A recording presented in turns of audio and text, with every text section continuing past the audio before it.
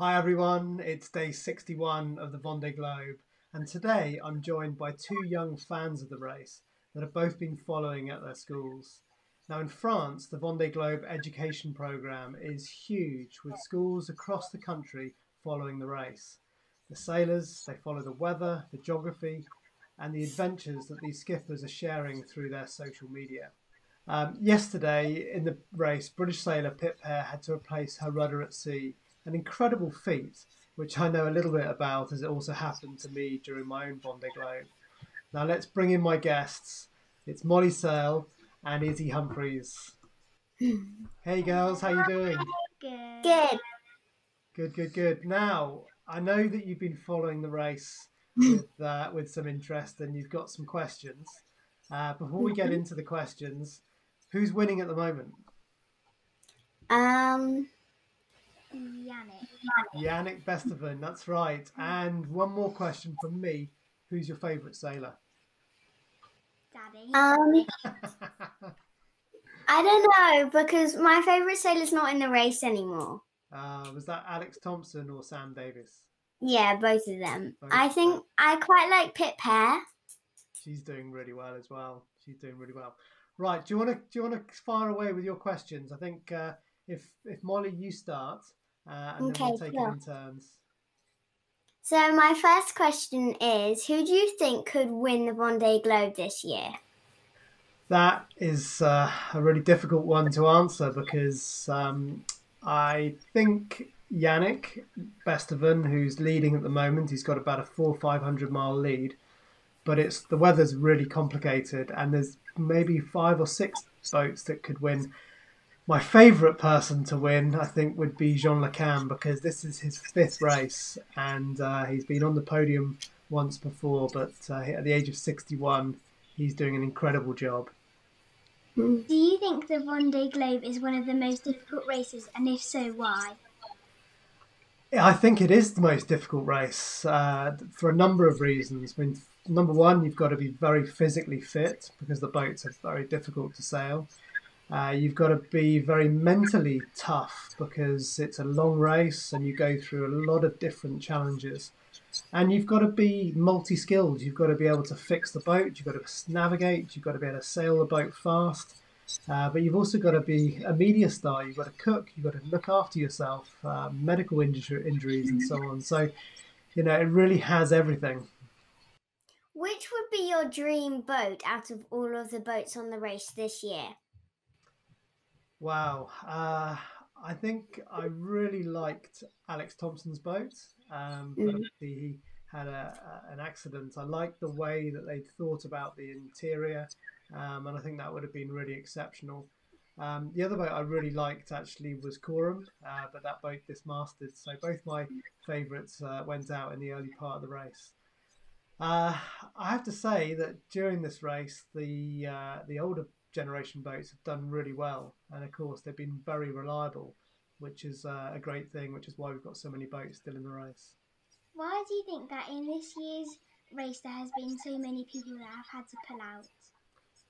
Well, I think the the main incidents have been a few boats have had collisions. One boat's lost its mast, uh, but in general, this race has been one of the best races for um, for accidents with boats. Normally, sometimes less than fifty percent of the starters who who start this race will finish. And this time round, at the moment, touch wood, we've only got six boats that have uh, fin- have left the race um, which we could could see a record number of finishes, which is fantastic. Do you think that anyone who has had to pull out of this race could have won if they hadn't have had to pull out? Uh, yeah, I mean, I think uh, Corum and uh, and certainly Jeremy Beyou, although he restarted, I think they were both um, would have been well up there favourites. Um, it's hard to really really know because uh, you know one of the things about this race is finishing it is the, the, the tough- toughest thing. It's the really most difficult thing.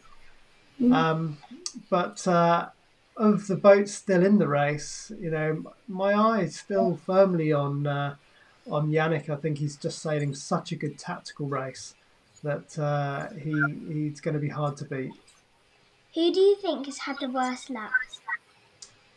Who's had the worst luck? Well, you'd have to say Jeremy Beyou uh, was uh, was pretty unlucky.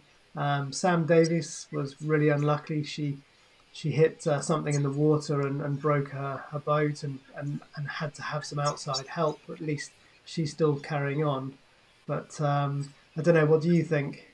I think Kevin from PRB had the worst luck. Well, yeah, you, I would agree as well. Kevin uh, broke his boat, and um, he doesn't get much, uh, you know, less lucky than that, I suppose.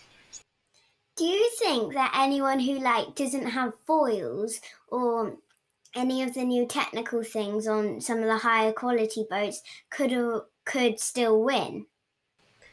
Wow, what a question. Um, I think there's a good chance that a non-foiler could still win, but um, what it needs is for the, the the South Atlantic to be very tricky and non non traditional and not too much reaching or, or, or upwind sailing. Um, it, it's going to be hard because at the moment the first three boats are all foilers, uh, and two of those boats have still yet to really show their full potential. Uh, and I think we will see their full potential in the coming days as they start to get back into the North Atlantic and, and reach back up. Um, so uh, I, I think my money would be on a foiler winning the race, but mm. uh, but my dream would be to see Jean Le Cam there. Do you think your rudder did a good job in 2004 to 2005 Vendée Globe? What a question. Well, it's interesting we're talking about rudders. Um, I've got a little video here of, uh, of the, the, the, rudder incident in 2004-5. And of course, Pip Hare um, has just broken a rudder and managed to replace her rudder at sea in the Southern Ocean, which is no mean feat, incre- incredibly difficult thing to do. Mm-hmm. Um, I replaced my rudder when I was in Cape Town in, in, in sheltered waters. But let's have a quick look at that uh, that video. Hang on a second, let's bring it up now. Meanwhile, Humphreys is powering through the southern Atlantic with pace until on day 28 he hits a submerged object and he hits it at speed. Conrad is flung across the cabin, survives the impact, but one of the boat's two rudders is snapped. Don't really know what to say. Gonna head to Cape Town. We've got an emergency rudder. Um, I might be able to fit it. If, if I can't, we'll just have to see what happens. Has his dream to race around the world alone in the Vendée Globe been blown apart? He heads for Cape Town, his race hanging balance. The South African coast ahead he looks for a safe and sheltered mooring, somewhere to inspect the damage. He finds a beautiful sheltered bay off Simonstown, but make a mistake picking up a mooring and he'd be forced to turn on his engine, and that would mean disqualification from the race. First task completed. But the big job lay ahead. He's about to attempt a first, to replace a rudder alone at sea. Normally a crane and a four-person shore team would do this, but for Conrad, a snorkel, ingenuity, determination and self-belief would have to do. All the time though, his rivals are steaming away. With limited oxygen, he plans his mission carefully. Just what will he discover under the hull? The water is warm. Good for Conrad, good for tourists too, many of whom come here to see sharks.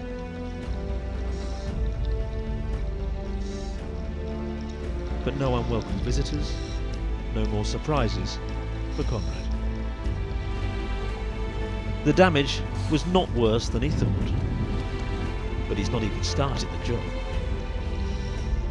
The jagged edge of the broken rudder the whole rudder must be removed.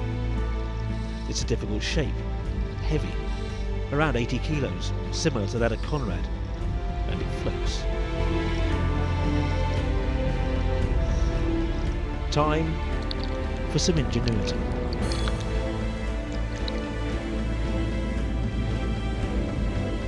Conrad prepares his solution. He attaches the rudder to the anchor chain and gives gravity a helping hand. That's the theory.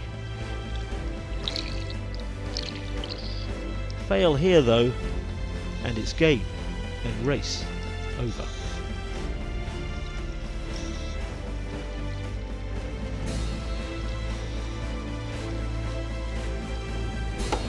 Back on board again, exhausted but fueled by adrenaline, he tries to force the old rudder off. And succeeds. Huge relief, but still, it's only the beginning.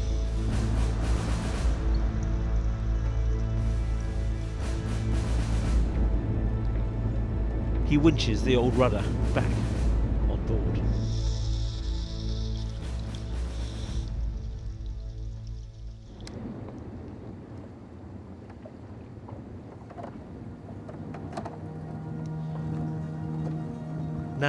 Totally exhausted, he's been at his mooring for 36 hours. Conrad does not have the clock on his side. He has just eight minutes of emergency air. He uses up vital minutes preparing the way for the new rudder. He creates a pulley system.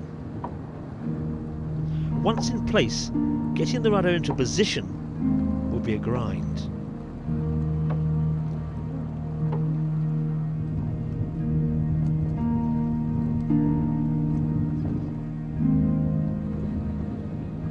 Gently slides the new rudder into the water.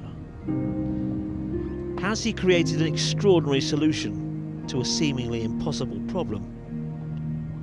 Or not?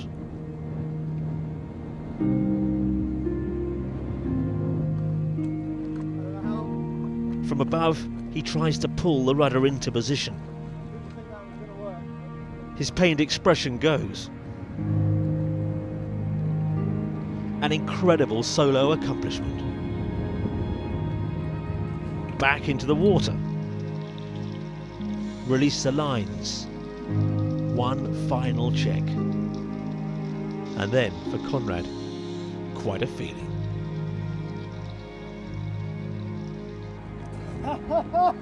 Can't believe it. Conrad Humphreys back in the Vendée Globe.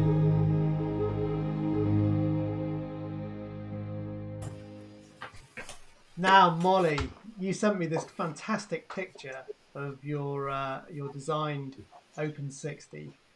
Can you describe some of your features on the boat? Sure. So, um, we have a very wonky foil and a very wonky rudder because I'm not very good at drawing them. But we, I have the keel, which is the pink thing at the bottom, and the battle stick at the front, and uh, my big sail. And your big sail, your very colourful big sail. Now, you've also got Sam's boat there as well. Uh, Mhm. What do you like about Sam's Sam's actual boat?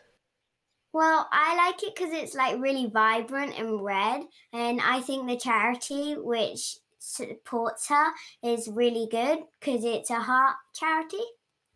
That's right. It's it is. Now, should we have a quick look at the uh, the tracker and the weather forecast? Sure. um, this was the situation just a, 24 hours ago. Um, if we zoom in a little bit, you can just uh, see what's going on. And we'll just run the tracker through. Now, a couple of days ago, Yannick had a, a good lead. He was uh, about 200, 250 miles ahead of the next boat. And over the last couple of days, he's really extended that lead. Right now, he's 400 miles ahead of Apivia uh, with Thomas Ruyant on LinkedOut. But if we look at the weather forecast, Yannick is about to slow down because the weather's going to get very tricky and very light ahead. So, this is the current situation with the weather forecast. Um, and you can see we've got Yannick up here uh, and then we've got Apivia, Charlie, and Thomas back down here. Now you can see there's some light winds ahead of Yannick, and if we look at what happens in the forecast, so that this is at lunchtime today. If we look at lunchtime tomorrow, you see what happened there. The weather has got all the blue space around Yannick. That's very light winds, whereas the boats behind they've got this low pressure system, this weather system, which is giving them some stronger winds. And then if we look into Sunday, you can see that they've really closed up and uh, it looks like uh, Charlie Dalin has almost caught up with Yannick by uh, by Sunday. Uh, I don't know if we can go as far as Monday, but yeah, by Monday he's he looks like he's he's caught him up. So it's going to be really difficult for Yannick over the weekend. Now I've got a question for both of you about the weather. It's a difficult question to answer, but how do you think the world makes weather happen? Do you know? Do you know how how we get rain and and wind and clouds? Any ideas? Um, well, the rain evapor- evaporates from the sea and the mountains. Uh, yep, yep. So we get uh, we get water evaporating off the uh, heated up and and it rises and then when it rises into the sky it cools down. What does it form when it cools down? Rain. It forms some rain and some clouds. So I was going to tell you a little bit about how global weather happens. Now, what have we got at either end of the Earth, at the very top of the Earth and the very bottom of the Earth? Antarctica? That's right. We've got Antarctica and the Arctic, and they're very cold, aren't they? Very cold Yeah. areas. And then what have we got going around the equator? Do we know what that's called? Nope. Okay, so we've got around the equator, we've got the, the tropics, we've got lots of sunshine, it's very hot. And what happens at the equator is the air rises at the equator and then it, it drifts out around to the poles and sinks at the poles. And that creates these great big circles, of wind rising at the equator and sinking at the poles. And then what does the Earth do? It spins on it on its axis, and as it spins round, it creates this this circulation, and we have something called the Coriolis force, which produces our our wind gyres. Uh, that's on a on a much bigger scale, on a macro scale, and then we also have these high and these low pressure systems um, on a smaller scale. So, yeah, weather is really important. It, it it keeps all of us our health and our well-being because in, in the UK at the moment we have quite cold weather but in the summer we have warmer weather which means we can grow crops and we can produce food uh, without having to import food so weather is really really important right let's go back now have you guys got any more questions before we wrap up Yeah, I've got three. okay let's go for those So my first one is is you know you've done the Vendée Globe. So what rule would you change? Wow, what rule will I change? Well, I'll tell you the rule I would change. So, around on the racetrack, you would have seen this long line called the ice limit line, and it prevents the boats from, from going into the ice line. Now, I'm not a big fan of it. The reason it's there is to keep people safe out of the ice, and of course, that's really important. But also, it restricts their their sailing course, and sometimes it can be quite a dangerous line because it creates this sort of artificial coast. Um, and I'd like to see, you know, maybe us to go back to the, the sort of ice gates or, or waypoints. Um, but uh, I don't think that's going to happen. But that's one rule I'd probably like to try and change. So my other question is if you know Pip Hare, she's lost her rudder. Do you think she'll have to replace her rudder the same way as you did? So she has replaced her rudder. Uh, she did it this morning and she used a very, very similar system. So she used the anchor chain, uh, but they put it into a bucket or into a, a- a container. And then she didn't go to a to to a, a, a land place or, or, or any shelter. She did it, slowed the boat right down. Um, she put out a, parachute or a drogue behind the boat to really slow the boat down, took the sails down, and then she suspended this, this anchor chain under the rudder to help her pull the rudder out uh, and then uh, float the new rudder back in again in the same way. But very, very difficult to do that when you're in the Southern Ocean because you know, the, the water's not static, it's always moving around, there's always some waves, and of course that makes it really, really difficult. So she did brilliantly. And I have one last question. As you said in that video, the water was nice and warm. Do you think the water would have been as warm when she did it? Well, uh, let's. If she was in the Southern Ocean, which we know she was, the water would have been maybe one or two degrees uh, where she is, so extremely cold.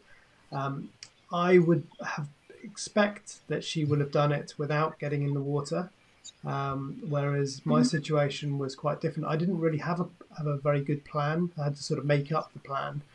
Uh, and of course, where I was in the water, the water was was quite a lot warmer because I was in Cape Town, where um, the water temperature was much much warmer, which is why there's so many big fish in that bay and uh, and lots of great white sharks and uh, lots of penguins and and, um, and and lots of seals and, and various things to see. So really really good questions. Thank you so much uh, both of you. I hope you'll come back and join me on the show again. Uh, if yeah. um, we can do that. So that was Molly Searle and Izzy Humphreys joining me today for the these fantastic questions. Really, really great, great questions. Uh, on Monday, we're back with a new guest, so tune in then.